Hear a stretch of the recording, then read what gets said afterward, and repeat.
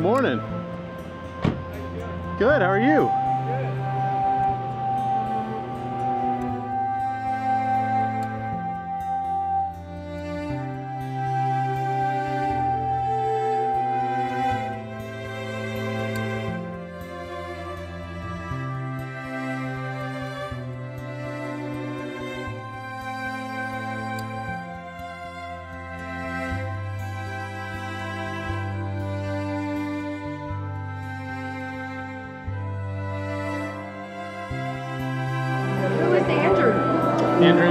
Right there And the blue shirt? in the brown shirt.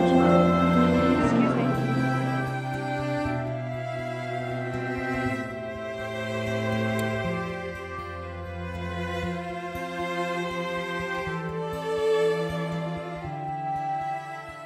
My favorite of his work is the work he does with people who are otherwise invisible.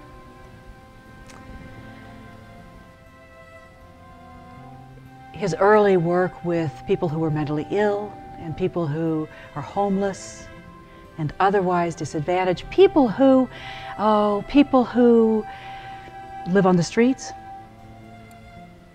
people we don't see. I know that when I was, oh, about 12 years old, my parents drove us through the Bowery in New York City. And my brother and brothers and I were taken in by these people who lived on the street, who slept on the street in daylight. And we were taken in by them. And our parents did what I suppose all parents did at that time, which is to say, oh, don't stare. It's not polite to stare. And I think messages like that, people became invisible. It wasn't what was meant. It wasn't as if they were saying, don't see them. But that's what really happens. In order to avoid staring, we don't see them all too often. Andrew sees them. I feel like Andrew's work is very relevant right now because he does a lot of work with the homeless. And there's a definite problem with how the majority of people treat people with low income. And he shines a spotlight on that. He takes pictures of aristocrats because they pay him a lot of money. So he takes photographs for his daily bread of people who have a lot of money and no want in their lives. And I, I suspect in a way that feels unbalanced to him. And so in all these projects, he goes out and looks for the other extreme. And the projects that are near and dear to his heart, he takes pictures of people who, whose life is full of want, whose life is, or at least lacking in all the opulence that the aristocrats' life have. Uh, and, there, and so there is, in this strange combination of extremes, a balance that Andrew uh, creates. Know, I can, I can look at something through a camera and, and choose uh, just the right moment or have just the right moment choose me and, and, and click the shutter and somehow that image will reflect something that resonates with people when they look at it. So, uh, so there's that threefold kind of, uh, of perspective, you know, uh, what I see, what the person saw that I was looking at, and what the person sees that looks at the picture, and somehow that connects the person that's looking at the picture with the person that I was making eye contact with when I was photographing.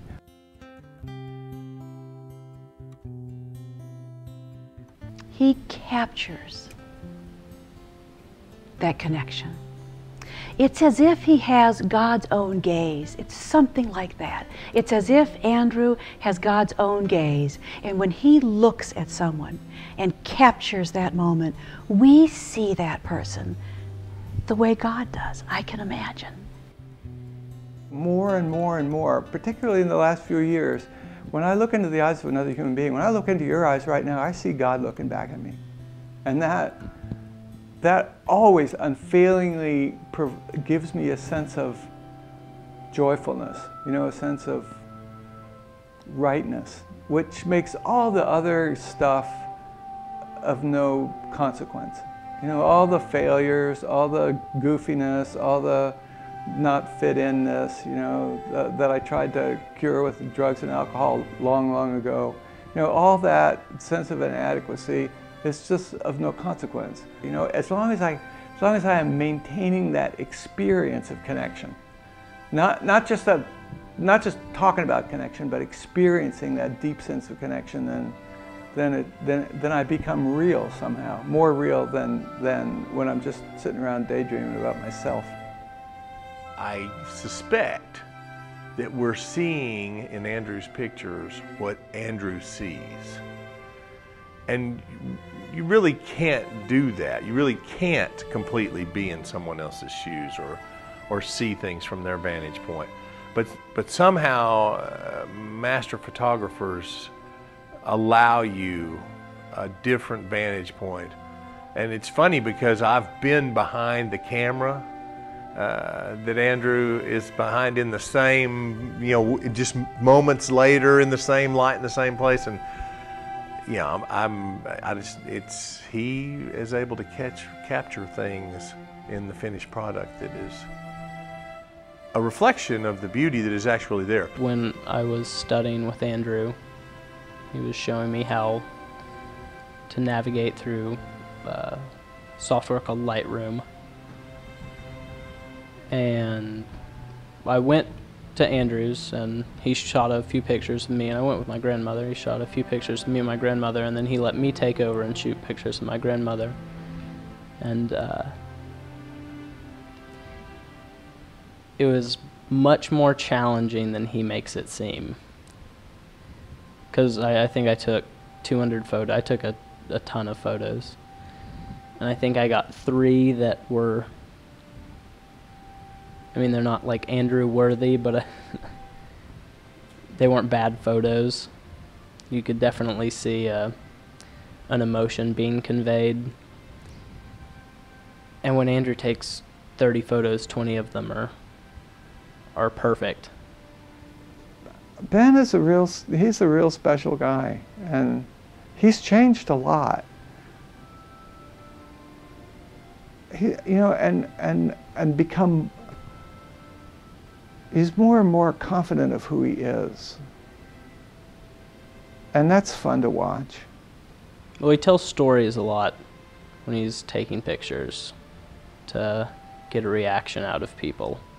I've been photographed by Andrew quite a bit, and I've been photographed by a few other people, and the other people sort of just snap randomly. And Andrew, I mean, he'll tell a story or have a conversation with you, and it'll sort of force a, a, reaction. And it might not be the reaction he thinks, it'll just be a reaction. And those natural reactions are, are where you find the humanity in his, in his photos. I've known Pat Hall for a while. Pat Hall is a really amazing guy. He's a, he's a psychologist that works for hospice now. Uh, I've known him for about 20 years, I think. He, uh, I see him probably four or five times a week. Uh, have breakfast with him pretty often. He's uh, he's a deeply insightful man. He's a big teddy bear of a man. You can always get a, a, a guy, a good guy hug, you know. His art, like his friendship, being one of Andrew's close personal friends, um, you know, the greatest thing about Andrew's friendship, and I think it comes through in his art to people who don't even know him, is he if you spend more than 30 minutes with Andrew, you want to go do what you do.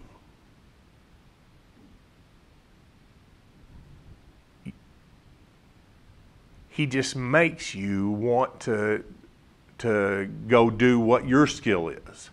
Uh, which I think all really good artists do when you when you when you're in the presence of good artists and, and or their art. I've got to tell you, there is a photograph he took of my mother and me, and it was taken 34 years ago, and I remember right now how I felt when the shutter clicked on that one photograph. There were many photographs that afternoon. My mother was traveling cross country. Had just a few days. Andrew was filming the Fayetteville Towns Fork portfolio. My mother and I went in there. Now, we had not been close. We could not remember being close as a mother and daughter. So, why we wanted our photographs taken, I don't know, but we did. We showed up that afternoon, hot afternoon. And Andrew began clicking our picture. He took dozens of pictures. And he finally said, Can't you two get any closer? Because we weren't touching. You know? Can't you two get any closer? Well, I remember touching, was, uh, she was here, touching, and that was it. and he, he kept taking pictures. And he finally said, This he said, let, let me help you. Let me help you. So he had me lean so that our heads were literally touching. And in that moment, the only way I could tolerate that moment was to focus intently on Andrew's own eyes. I leaned into him with such trust. I poured myself into the trust I had with him. I remember that. What he did with that, all the photos were taken. He said, This is the one. He said, Forget the others. This is the one. And I looked at that one and I saw something that was true that I had never seen for myself. I saw a connection with my mother and I felt it. And she and I both began to live into the relationship that he captured that we had never known. And I cherish my mother. And we have become the two women in that photograph.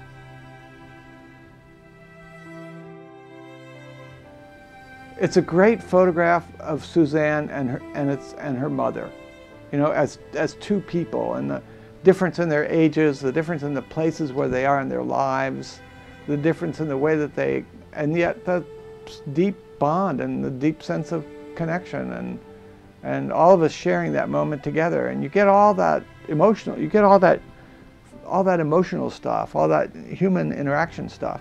And, and then you've got all the, this incredible, it's a white background shot, so you get all this light just coming from everywhere.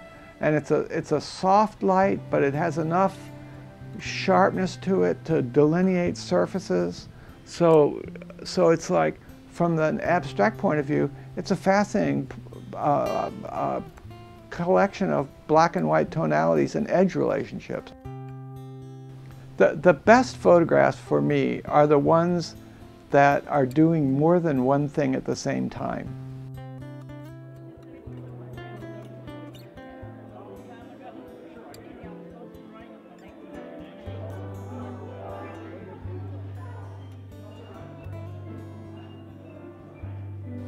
So uh, I realized that there was a significant percentage of our population who will never have a job, who are not going to get fixed. So it became the $20 bill project. And what I do is I beg $20 bills off my friends that, that have, uh, you know, oh, oh, probably have several of them in their pocket at any given time and they're not going to miss one or two. I mean, every time he goes and does these projects, he's like, hey, you got 20 bucks for my project? You got 20 bucks for my, and he's begging from everybody I know. And then I, I go to the community meals and I set up at the, at the uh, far end of the hall where it's relatively, you know, unnoticeable and I'm behind a, a small backdrop that blocks off what I'm doing with the north light window and, and, uh, and then I just go out and I say, uh, I go up to people and I say, uh, I'm taking pictures of people and I, I, and I pay $20 bills to, I'll pay you a $20 bill to participate. And a lot of the people say, nah, you know, but then enough of the people go, gosh, $20. Because for these folks, a 20 dollars really changes the, the, their experience for a day or two. And the guys that give me the twenty dollar bills don't even notice it's gone. That's the irony. Because it shines a spotlight on how we're all connected. on how some homeless man on the street is connected to a senator or how I'm connected to an 80 year old woman. And it might not be so easy to, to say in words to describe, but when you see his pictures, you get that sense of being connected. They're out there, and the reason they're out there is because they suffer from various forms of mental illness. And all those different forms of mental illness have as a symptom some form of paranoia. And what, what paranoia means is that, is that you're afraid of other people. And you're enough afraid of other people so that when somebody tries to fix you or save you, it's like, let me the hell out of here. It's like one of the, you know, we think, well, we need more homeless shelters. But what we do with the homeless shelters, we take a bunch of homeless people and we crowd them into the same room in bunk beds. Well, that's the last thing they want. What they're looking for is privacy. What they're looking for is to get away from the intrusive, uh, uh, you know, constantly in their face kind of uh, culture that, that reacts immediately with their paranoia. Their paranoia is saying, uh-uh, let me go. I'd rather sleep under a bridge. You know, I'd rather carry my possessions around in a duffel bag than have somebody in my face about it all the time because I just cannot tolerate that.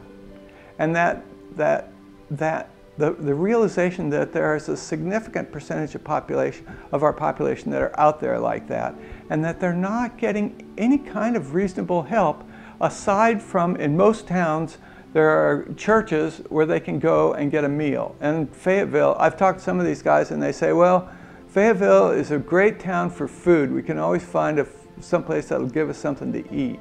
And we're talking about people that have nothing at all. They cannot go into a McDonald's and order a cheeseburger because they don't have the money to pay for it.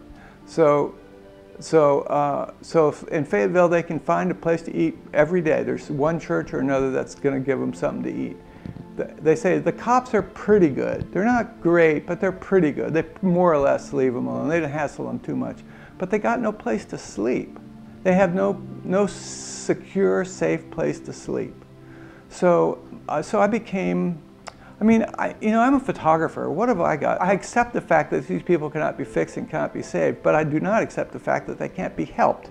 You know, they can't be provided with a safe place to sleep, safe food to eat, uh, adequate medical care, access to information and, and, uh, and communication, and some form of accessible transportation. It's like a, a person with an infected little toe.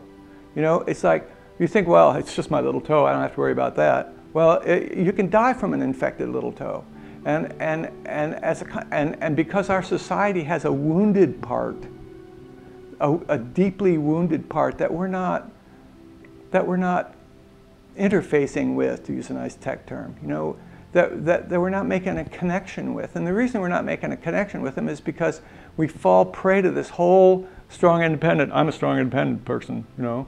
So, there, so these other people, which are who are clearly not strong, independent people, because they're out there on the street, my God, they smell bad. Uh, th th they must be innately different from me, right? They must be innately different from me because my God, look at me and look at them. Yeah. So that accepting the fact that these people are different from me just leaves us lost. What we have to experience, not know, but experience, is the fact that these people are not different from me, that they are the same as me, that they're me except with, a, with an illness that causes them to be uh, unable to make a connection with mainstream institutions. And it's as simple as that. They have an illness which causes them to be unable to connect with mainstream institutions.